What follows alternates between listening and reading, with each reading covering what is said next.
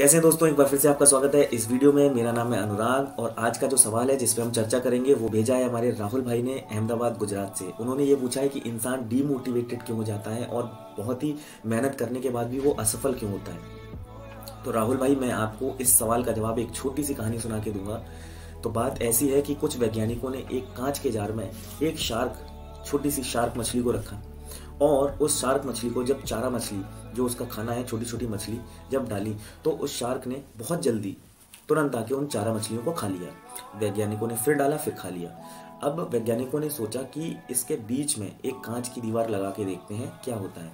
जब कांच की दीवार बीच में आ गई तो वो शार्क जब भी चारा मछलियों को खाने जाती थी तो कांच की दीवार से टकरा के वापस चली जाती थी। जब ये जो एक्टिविटी है बार बार शार्क के द्वारा दोहराई जा रही थी और बार बार वो शार्क जब असफल हो रही थी तो शार्क ने ये सोचा कि अब वो चारा मछली नहीं खा सकती है। प्रॉब्लम यहीं से स्टार्ट हुई।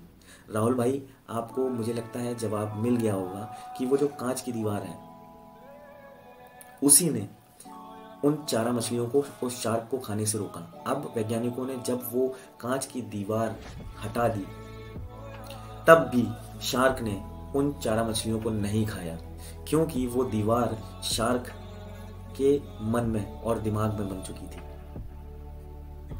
वैज्ञानिकों ने जब फिजिकली उस कांच की दीवार को हटा भी दिया तब भी वो शार्क उन चारा मछलियों पे ना ही अटैक कर रही थी ना उनको खाने के लिए जा रही थी क्योंकि उस शार्क ने मान लिया था कि आ, कांच की दीवार अब भी है और वो उन तक नहीं पहुँच सकती है।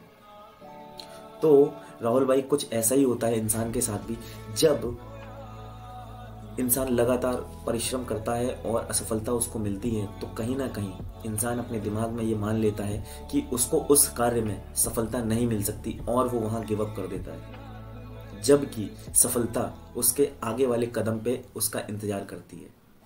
तो मैं बस इतना ही कहूँगा कि आप अगर किसी भी कार्य को कर रहे हैं या किसी भी काम को कर रहे हैं तो उसमें कंसिस्टेंसी बहुत ही इंपॉर्टेंट है। क्योंकि कंसिस्टेंसी अगर है तो आप सक्सेस ज़रूर पाओगे। तो राहुल जी आई होप कि आपका ये जो सवाल है, उसका आंसर आपको क्लियर होगा, हुआ होगा। और बस मैं आपसे उम्मीद करूँगा कि ये कांच की दीवार आपके दिमाग में अब दोबारा नहीं बनेगी। मिलता हूँ आपसे अगले वीडियो में। Thank you